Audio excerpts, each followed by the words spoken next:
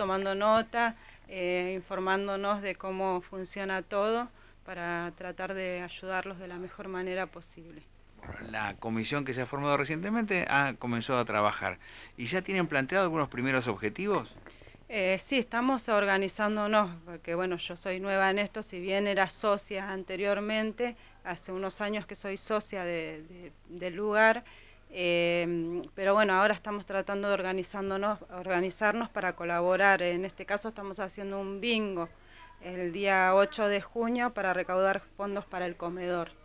¿Y se va a hacer aquí en la institución? Eh, sí, aquí en la institución, eh, para todos los que no lo conocen, en Lobo de Mar, 727 acá en Mar de Ajo. Es oportuno recordar que cada uno de los talleres que funcionan dentro del, del, taller no tienen una producción que la gente puede comprar esa producción de elementos, qué tipo de cosas.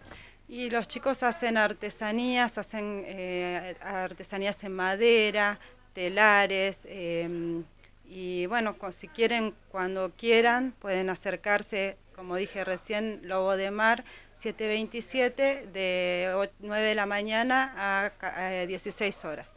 El, el, taller está revolucionado, ¿no? Porque están en, en, reformas, están poniéndolo más lindo. Sí, están pintando, los chicos están colaborando, están haciendo eh, cosas en madera, están pintando, están renovando todo, mucho trabajo están haciendo. O sea que, eh, entiendo que para el bingo, eh, muchas de la gente que ya conocen el TAF lo van a encontrar renovado. Más lindo lo van a encontrar, sí, los chicos están trabajando muchísimo, la gente de acá que colabora con el taller está pintando, están arreglando afuera, así que cada vez lo van a ver mejor.